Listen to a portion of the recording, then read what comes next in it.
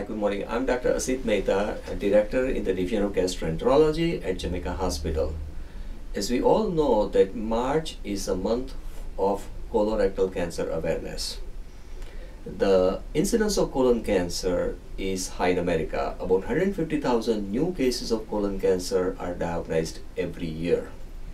The risk factors include diet high in animal fat, low in fibers, hereditary, smoking, alcohol. In addition, Afro-American patients have a higher incidence of colon cancer in United States. But the good news is colon cancer, in almost all cases, it's preventable.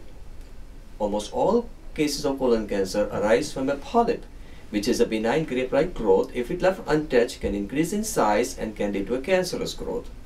So the purpose of doing this colon cancer prevention is to look for polyps and remove the polyps. American Cancer Society recommends that after the age of 45, every individual should go for colon cancer screening. The best modality to do colon cancer screening is to offer a screening colonoscopy. In screening colonoscopy, it's an outpatient procedure which is done with sedation. It's painless. Patients come in in the morning, get the procedure done, and go home the same day. Usually, you are in and out of the unit within three hours. We offer colorectal cancer screening, screening colonoscopy at Jamaica Hospital. You can schedule an appointment by calling us at 718-206-8755.